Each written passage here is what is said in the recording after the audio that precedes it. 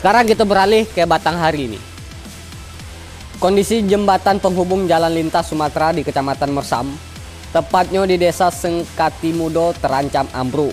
Pasalnya, sebagian penahanan dari jembatan tersebut putus dan rangkaian besi terpisah dengan jembatan. Waduh, ini kacau nih kalau di dia ini. Mudah-mudahan cepat dibangun jembatan baru. Ini dia pantauan Bang Jack. Beginilah kondisi jembatan penghubung jalan lintas Batanghari Tebo. Keberadaan jembatan terlihat tidak lagi memiliki kekuatan untuk menopang beban angkutan berkapasitas berat.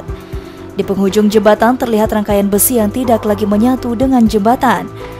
Camat Mersam Raden Tarmizi saat dihubungi menjelaskan, kondisi jembatan tersebut bisa ambruk kapan saja dan dapat membahayakan bagi pengendara maupun masyarakat sekitar.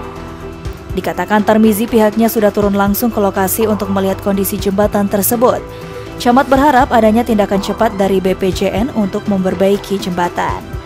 Selain itu, dari rangkaian bawah jembatan terlihat sudah retak dan membahayakan pengendara dan ditakutkan dapat kapan saja ambruk bila tidak segera diperbaiki. Selamat Riyadi, Jack TV melaporkan.